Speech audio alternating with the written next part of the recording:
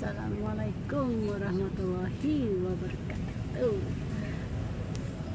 Ciao and salam permasa. Sebelum nonton videonya, jangan lupa di subscribe, like dan share, komen ya. Saya mau ngasih tahu suasana pagi di kota Taipei. Dang dang dang dang dang dang dang dang dang dang dang dang Uh, di sini setiap taman itu pasti ada permainan. Permainannya ini, ini buat khusus buat olahraga.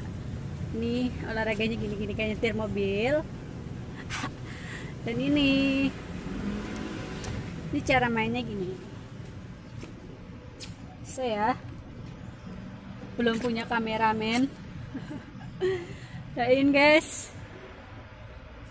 Terus ah, ah, ah, ah. Kalau main kayak gini itu aku nggak nggak doyan makan. Pernah satu minggu gak doyan makan langsung.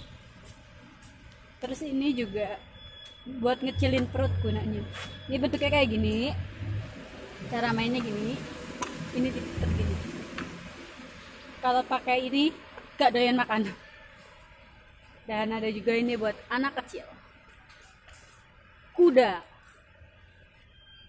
Gak boleh dinaikin nanti ada dimarahin terus tamannya ada banyak pepohonan ada bunga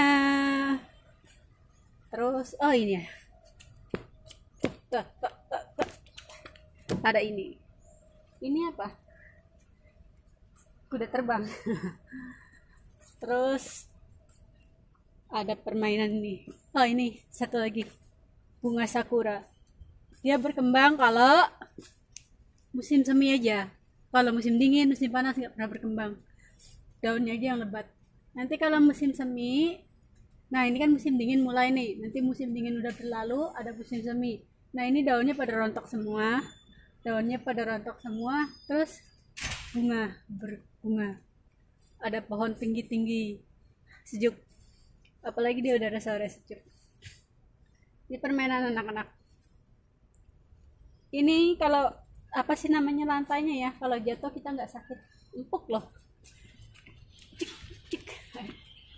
saya mau nerusin nenekku olahraga dulu.